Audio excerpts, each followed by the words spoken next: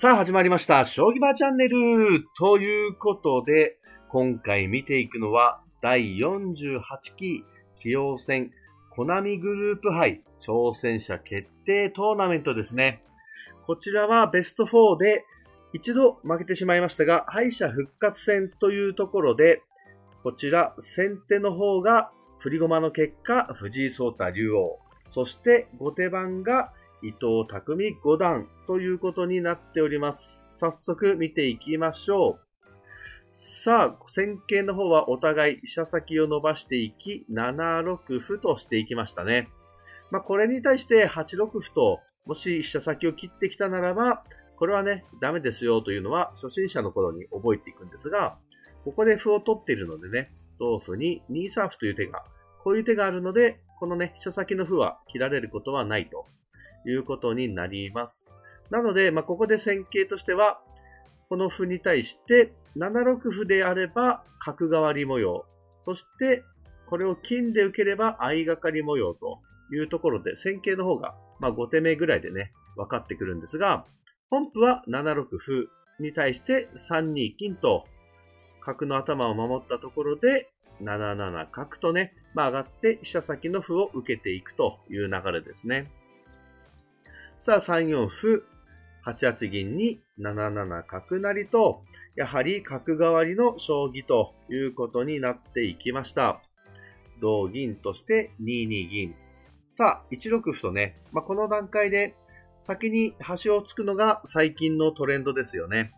まあ、先手としては端をね、受けてくるのかどうかというところで、受けてきたならば、まあ、端攻めの視野にあるし、早繰り銀で行った際の1五角の筋もなくなるというところもあるのでね。まあ、いろいろと含みはあるんですけれども、さあ、本譜は1四歩と受けてきて、3八銀、そして3三銀とね、まあ、下先の歩を受けていきましたね。さあ、3六歩、そして6二銀に7八金、6四歩、そして6八玉と、さあ6三銀としておいて、後手は銀を中央に使っていくというところで、さあ先手の右の銀はどこに行くのかというところですが、3七地点は桂馬が跳ねていったので、まあ、早繰り銀ではなくて、おそらく先手も右の銀は中央に使っていくと、腰掛け銀模様になりそうですね。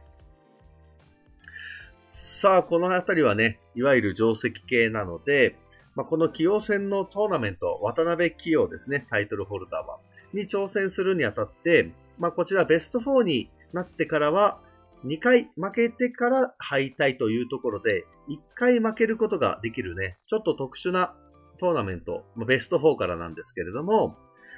で、こちら、藤井聡太竜王はね、まあ、天彦、佐藤天彦九段に敗れて、そして伊藤匠五段は羽生九段に敗れてというところですが、まあ、勝ち上がった天彦九段と羽生九段、天彦九段が勝ち上がっていきましたというところで、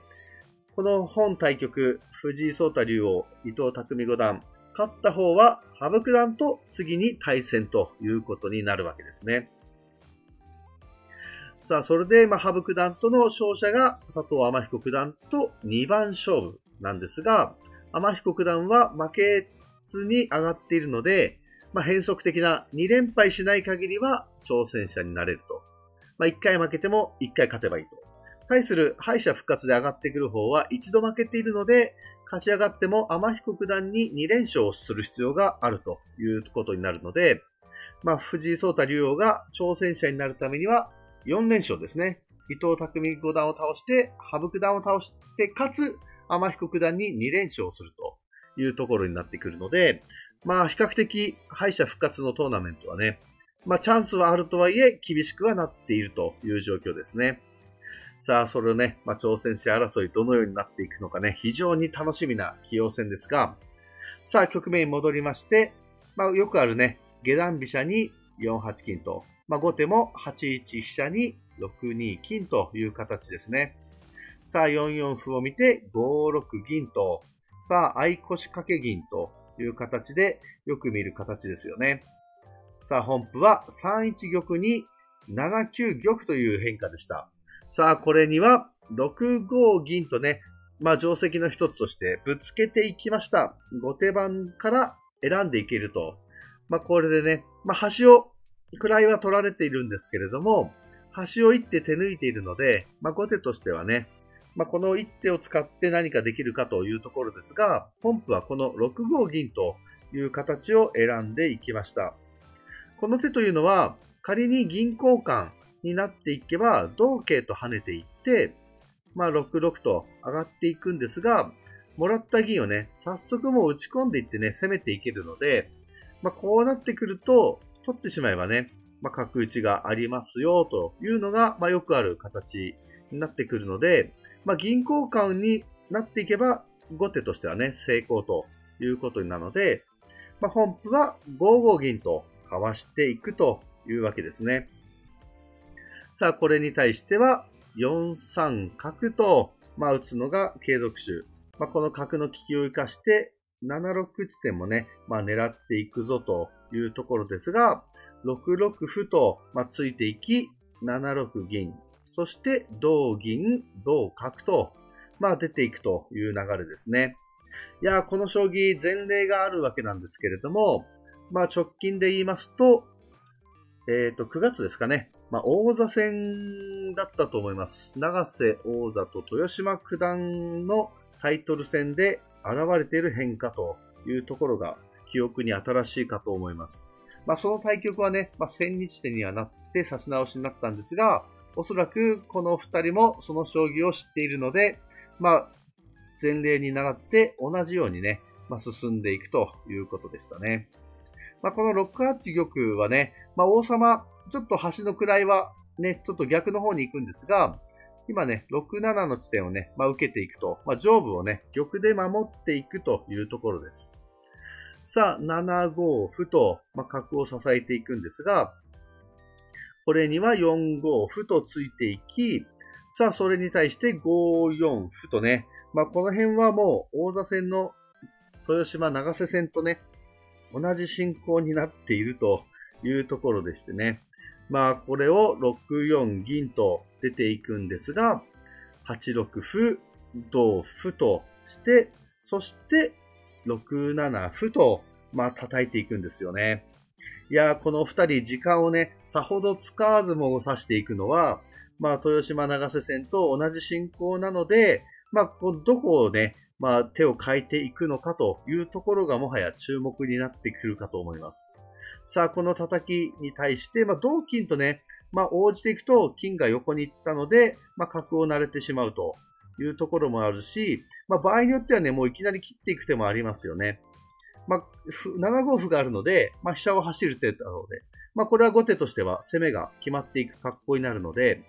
本譜は一度7七玉とかわしておくんですが、すかさず6八銀と打っていく。これも前例ですね。まあ、これも同金とまあ、取ってしまうと、同歩成とね、まあ、こうなってきますと、王様の周りのね、金銀が一気にいなくなる形なので、まあ、同玉と外していっても、上から金でね、抑えられていって、あとは飛車が走ってくるので、まあ、これはね、先手としては耐えられないということで、まあ、この銀はね、取ることはできずに、8八玉と、まあ、さらにかわしていく。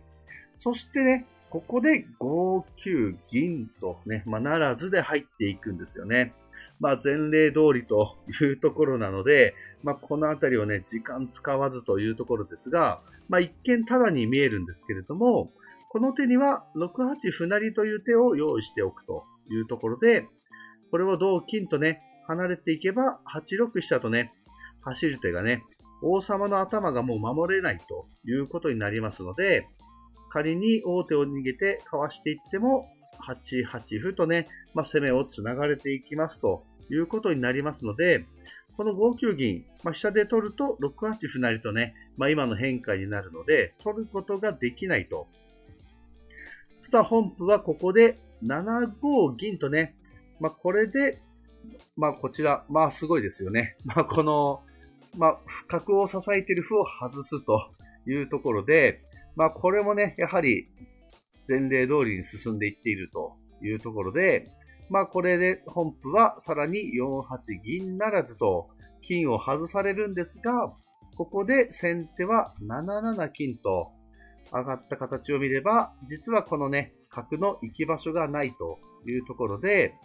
本譜は3七銀ならずと、桂馬を取って、先手は7六金と角を取るということで、まあ、駒の割としては、先手は角を取ったものに対して、後手は金と桂馬の2枚買いと、角と金桂の2枚買いという換算ですよね。さあ、しかし、継続手として、後手はここで3八銀と、さあ、飛車をいじめに行くという変化ですね。いや、前例通り進んでるとはいえね、まあ、どこで変えてくるのかというところですが、さあ、本譜ね、まあ、まずは飛車取りなので、縦に逃げるとすると、上に逃げれば、やはり2七金で飛車が捕まっていくというところだし、仮に横に逃げていっても、やはりね、6八金と打たれてみると、この金銀がね、まあ、効いていて、飛車はやはり捉えられてしまいますよ、ということで、本譜は一つ上に上がって2八飛車とかわしていくんですが、やはりガツンと2七金と打っておけば飛車を取れる格好になりましたね。まあしかし前例通りなので、構わずここで7四歩と同じようにね、まあ、豊島長瀬戦と同じように進んでいくんですけれども、まあ、ここで本譜手を変えて、2二玉と、まあ、伊藤五段がね、ここで手を変えていきましたね。で、ここで前例が離れていくと。ちなみに、この手に対して前例は飛車を取っていったんですけれども、まあ、ここで7三歩成、同金、7四歩と、まあ、入れてから、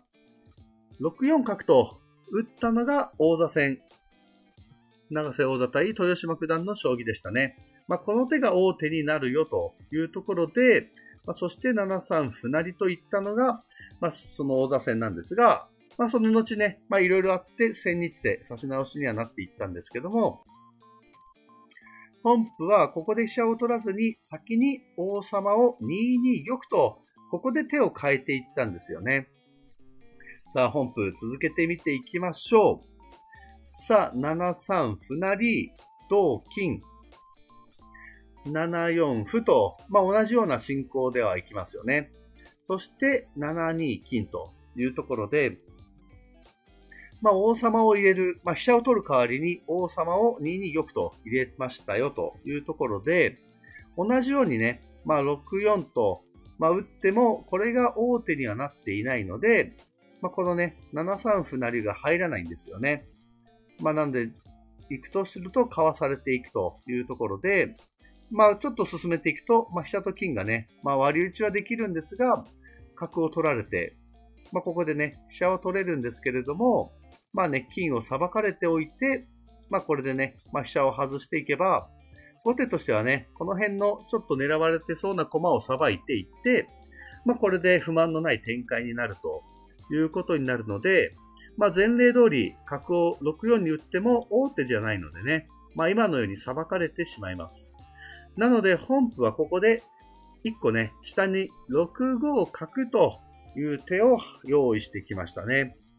いやー、藤井聡太竜をね、まあ、この6五角をわずか1分で放っているというところなので、もちろんその前例を計算、まあ、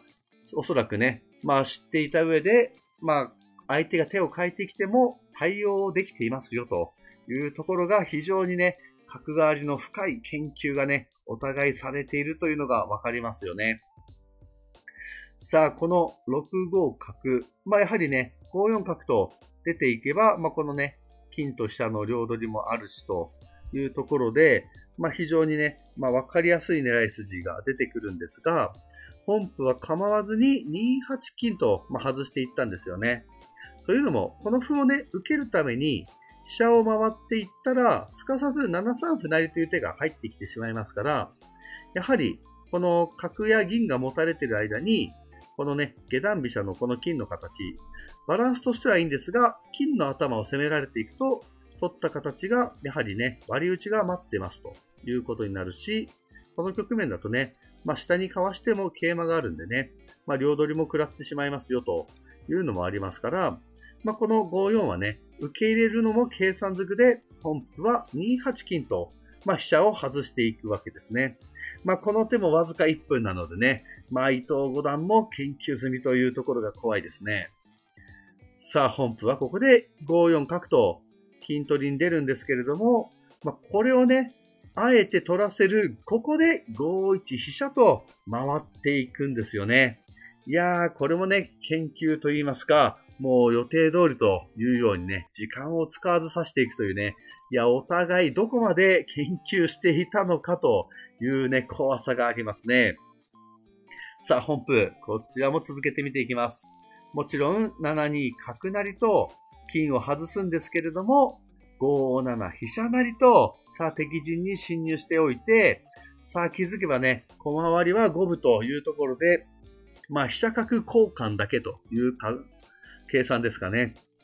いやー、非常にね、怖いんですけれども、まあ、形勢は互角で、まあ、お互い研究の範囲内というところですね。いやー、そしてここでも藤井聡太流を強いですね。まあ、パッと見この6八歩成などがね、非常に怖く見えるんですけれども、なんと、ここで藤井聡太流を7三歩成と、いやー、指していくんですよね。いや、これをね、わずか2分というところで、おそらくね、これを研究済みと、この攻めは大丈夫というところでしたね。いやー、非常に怖い格好なんですが、7三歩成と堂々とやっていきました。さあ、この手に対して伊藤匠五段も7九飛車という手を4分でね、放っていくんですよね。いやー、すごいですね。まあ、この7九飛車、一見ただに見えるんですけども、もちろん取ってしまうといきなりね、この竜が入る6八竜の一手詰めなので、まあ、この7九飛車は取れないと。そしてこのね、金取り、76の金取りになっているので、本譜はここで8七玉とね、まあ、上がって金に紐をつけていくというところでしたね。いや、非常に怖いんですけれども、まあ、この手もね、まあ、実は藤井竜王のちょっとした罠で、まあ、大手でね、まあ、桂馬は取れるんですけれども、これはね、上に逃げていって、景況は取られる形になるんですが、手順に上に逃げていけば、この7三歩成も相まって、上部が非常に硬く、入玉がね、まあ、しやすくなっていますよ、とというのがこの8七玉ですね。まあ、桂馬とかは取ってくださいと。手順にね、まあ、王手をされながら逃げていけますよ、ということなので、さあ本譜はここで後手も8四歩と、まあ、入玉をさせないように、上部にね、歩を放っていってブロックすると。王様は上に行かせないよというところでしたね。いやー、そしてね、まあ、この手、銀でね、まあ、取るような手というのも自然に見えたんですが、ここで藤井竜王なんと4四歩とね、いや、これをね、堂々とやってきましたね。いや、さあ、攻めてきなさいというところで、まあ、4四歩自体は特に何でもない手なんですけれども、まあ、拠点はできていますと。なので、後手の攻めは、まあ、ひとまず大丈夫なので、攻めの拠点を作りに行ったというね、いや、とんでもない手ですね。いやー、さあ、やってきなさいと言われているんですよ。まあ、とはいえね、シンプルになっていっても、現状7七歩と、まあ、このね、歩成りが入っているので、7三歩成りは2歩にならないように、まあ、歩で受けるという余地も残しているので、まあ、こうなってくるとね、やはり、まあ、大手で、まあ、歩があるので、8四歩で上部脱出はできないんですが、まあ、どんどんね、大手で迫っていっても、駒を放っておけば、後手は桂と香しかないので、まあ、特にね、まあ、ここから迫ってくるようなね、手順というのもなかなか難しいというのを主張としているんですよね。まあ、と金で迫るぐらいはできるんですけれども、まあ、やはりね、一手で外されてしまいますから、まあ、いつでも外せるというところで、まあ、本譜ね、まあ、ここですぐ迫るんではなくて、8四歩を守るということで、伊藤五段が6四桂馬とね、いや、ただなところに桂馬を放っていったんですよね。いやー、これはね、すごいですね。まあ、この手をね、まあ、指すのに、やはり昼休憩挟みながら50分ですね。まあ、50分プラス昼休みも考えているので、非常に長考しているというところで、おそらくこの4四歩が研究が外れていったところになるかと思いますね。いや、この手というのはタダで取れるんですけども、銀がこちらに行けば8四歩が取られないですよというのが後手の主張になってくるので、まあ、同じように6八歩成から迫っていけるぞというのが、このね、まあ、桂馬を犠打にしながら上部をね、まあ、守っていけるというところになっていくので、まあ、このようにしていけば少しずつね、まあ、6、7ととかで、まあ、と金を使って攻めていっても、この歩を外される前にと金が早いですというところが、この6、4桂のギダの意味です。さあ、このね、桂馬に対してどのように対応するのかというところです。さあ、見ていきましょう。本譜はここで6五金と上に上がっていきましたね。まあ、この金取りなのでね、まあ、銀で取れないのならば金をかわしていくというところですけども、まあ、桂馬の利きを使っていきたいんですが、これはすかさずね、やはり7六歩と叩かれてしまうと、これ取れないですからね。まあ、取ってしまうと、すかさず同飛車成とね、桂馬を使って攻められてきますから、まあ、なのでね、まあ、金は6五と、まあ、上に上がっていくというところです。さあ、本譜は、そして、ここで9四歩と、端を絡めて攻めていくというところですね。さあ、先手としては入玉できれば勝ち。後手としては入玉させないように追い詰めたいというところの攻防になってきそうですね。さあ、本譜。この端歩に対しては、ここで8四銀と、さあ、歩を払っていきます。いやー、ここですよね。まあ、歩を払っていくんですが、ここで6八歩成と、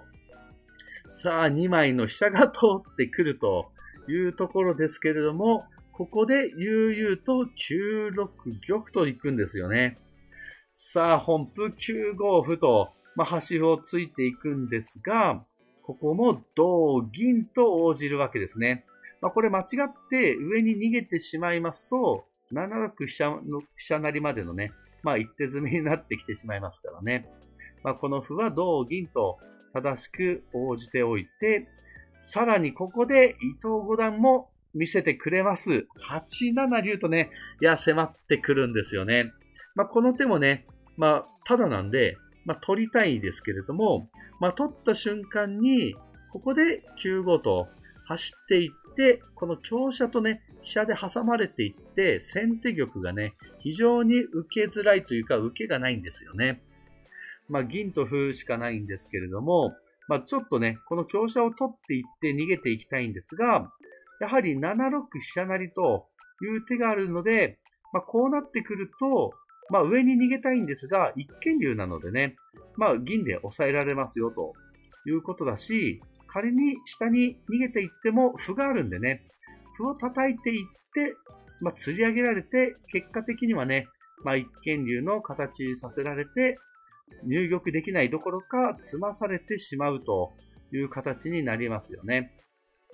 まあ、変化の一例だけなんですけれども、まあ、これがね、まあ、華麗に積むので、まあ、最後に飛車を寄って、まあ、歩で合駒できそうなんですけれども、まあ、何を合駒しても、もうこれはね、同竜と、まあ、内歩なので、一見守ってそうなんですが、まあ、同竜とね、まあ、ズバッと切ってしまえるというのが、まあ、このと金の大きさですよね。結果的には内歩にならずに、歩を叩いていっても、寄った手にと金で、まあ、詰みと。まあ、こういったね、まあ、詰み筋があるというところが、まあ、8七竜同玉の怖さですよね。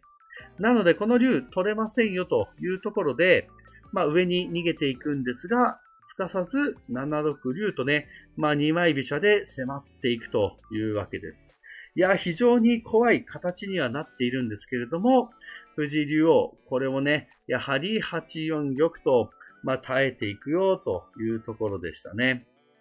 さあ、こうやって上に逃げていくんですが、ここでも伊藤匠五段、6号竜とね、いや、迫っていきますよね。派手な手の連発で竜をね、まあ、捨ててるように見せて、実は取れないというところで、まあ、これもね、金を外して、まあ、同歩と取りたいんですが、金を取られているため、9三金とね、打たれてしまうと、まあ、この飛車の利きと金の利きがあるので、まあね、どうやってもね、入玉ができないということになっていきますよね。あとはこのようにね、まあ、今日の利きを生かして迫っていけば、王様の入玉を阻止できる後手の勝ちというところで、まあ、このね、6五竜取ることはできないんですが、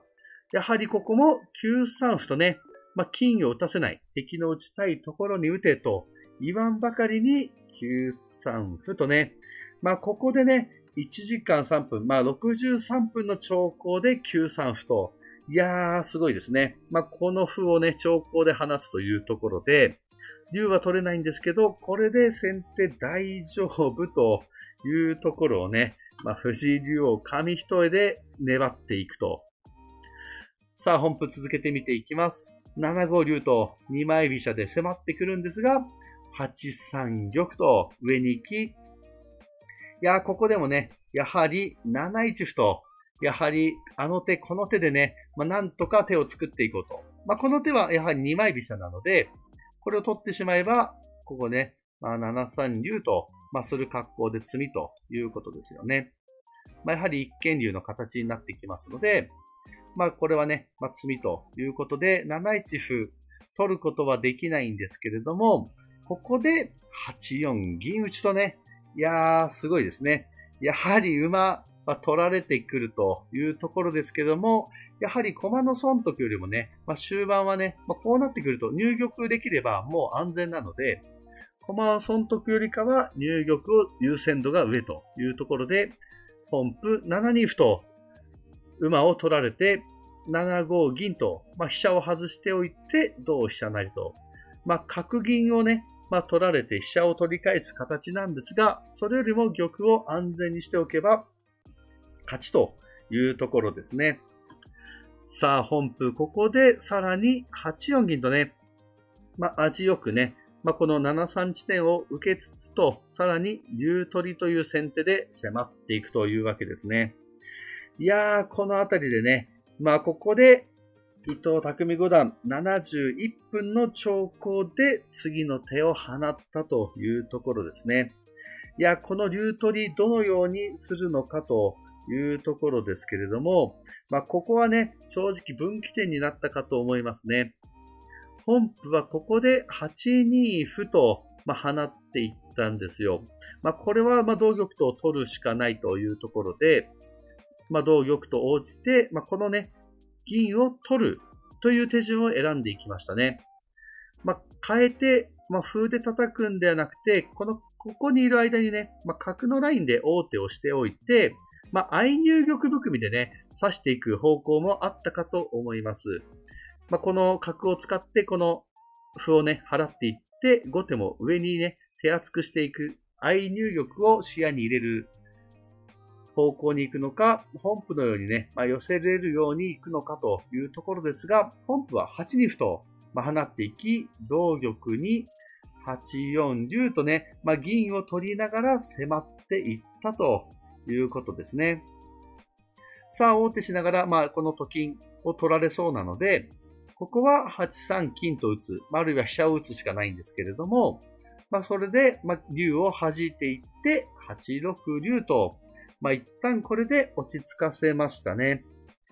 さあ、こうしておいて、じゃあ、この次の一手、またね、藤井竜王、自玉の安全を見切ったのか、ここで5四角とね、さあ、ここで先手をね、まあ、攻めに回っていくというところでしたね。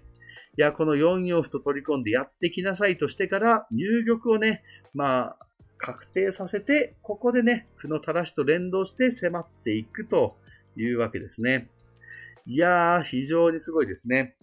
まあ、ここで負を払うような手というのもあるかと思うんですけども、まあ、こうなってくるとね、例えばこれで鉄壁にされてしまえば、もうちょっと先手玉手つかずになってくるので、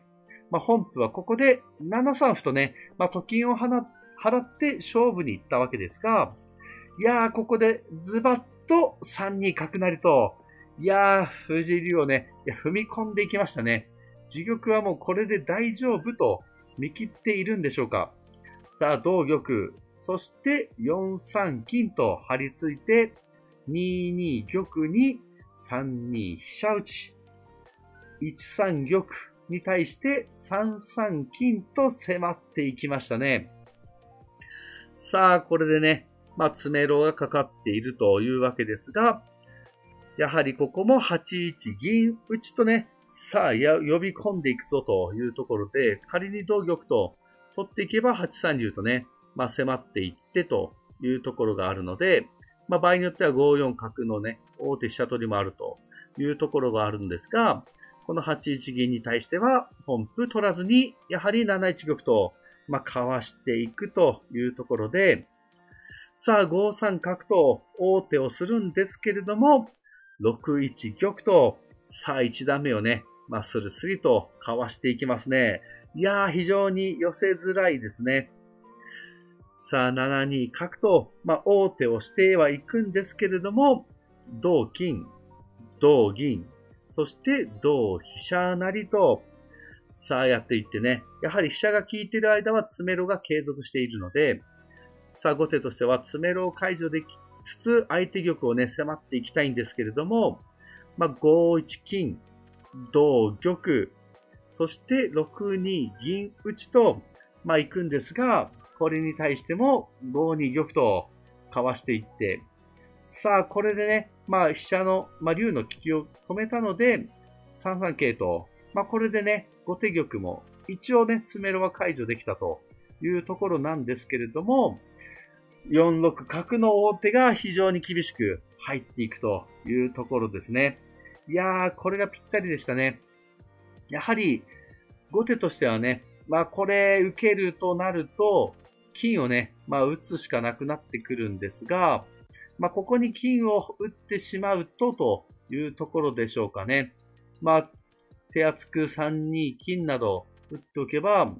ね、王手はできるんですけども、まあ4三と、まあ、どんどんね、まあかわしていけてしまいますからね。やはりまあここでね、まあ金を使わずに2二玉とかわしていったんですが、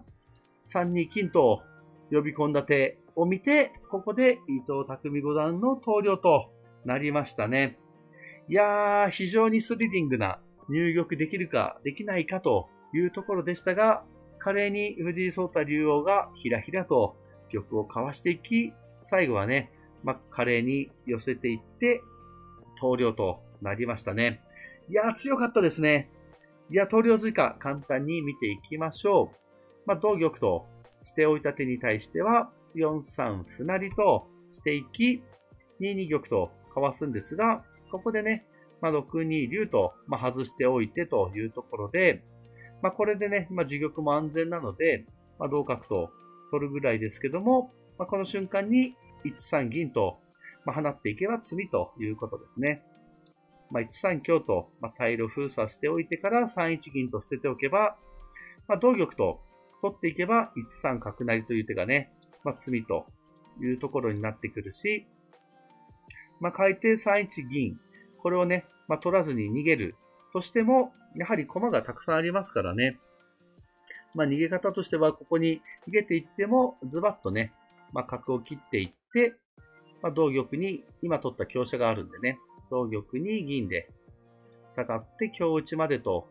いうところがありますので、やはり、ま、3二金で、まあ、投了もやむなしと。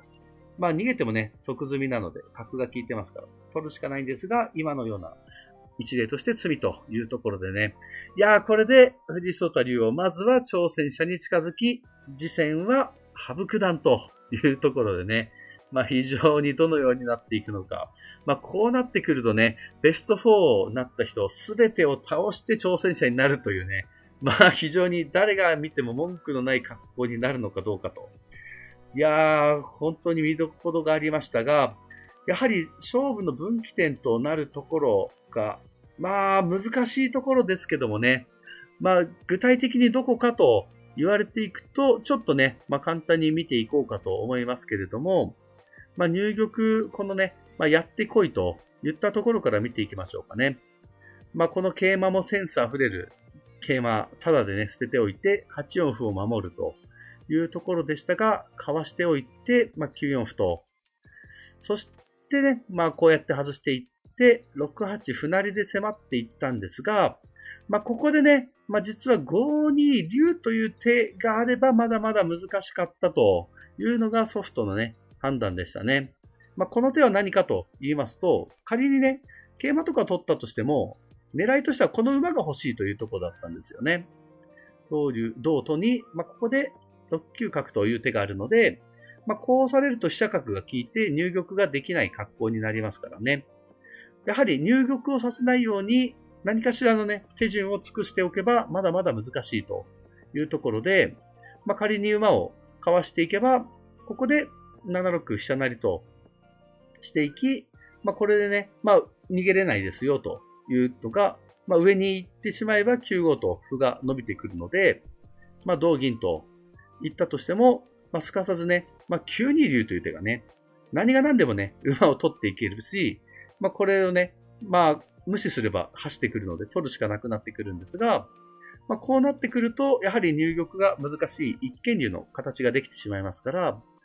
何かしらの技を使っていって、まあ、こうやってね、入玉を絶対させないようにしておけば、まだまだ後手としてもチャンスがあったのかというのが、この5二竜というね、まあ非常に難しい手ですけどね、6八歩成が悪いとは思えないんですけどね。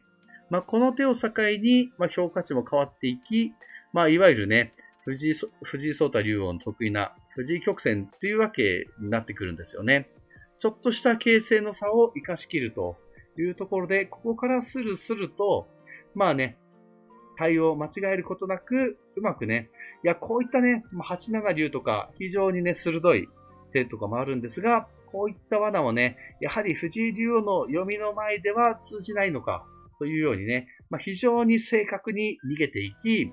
どんどんね、やはりここも6五竜などでね、まあ、金をタダで召し取るようなね、まあ、鋭い手もあるんですが、やはりこれもね、すべてをカンパしていき、玉をね、まあ、安全にしていってというところで、まあ、完璧にね、まあ、入玉を差しこなしていくというところで、まあ、入玉されてしまえばね、さすがに王様、迫る手段がないので、まあ、相入玉を選ばなく、なんとか寄せるようにね、まあ、迫っていった伊藤五段の指し回し、個人的には非常に好きでしたね。まあ、最後まで諦めずにね、どんどん行ったんですが、最後の最後はね、やはり寄せは間違えることなくね、藤井竜王、やはり最後にやはりこういう怖い手、どんどん指してきますからね。まあ、同玉と取ったりしてしまうと一気にね、逆転模様になるんですが、間違えることなく正確に逃げ切ってというところで、まあ、あの手この手を尽くしてね、まあ、詰めろを解除しながらというところもね、まあ、見応えもあった将棋ではあるんですけれども、やはり詰めろを解除されても、さらなる手を用意しているのが藤井竜王でしたね。最後の王手に、まあ、逃げて3二金までという鮮やかな詰みでした。ということでね、まあ、ちょっと見どころがあったので動画長くなってしまって申し訳ないんですけれども、これからもね、こういった注目のタイトル戦、対局戦と、まあ、藤井聡太竜を応援していきますので、よろしければチャンネル登録、高評価していただければ幸いです。それでは非常に長くなってすいません。最後までご視聴いただきありがとうございました。バイバイ。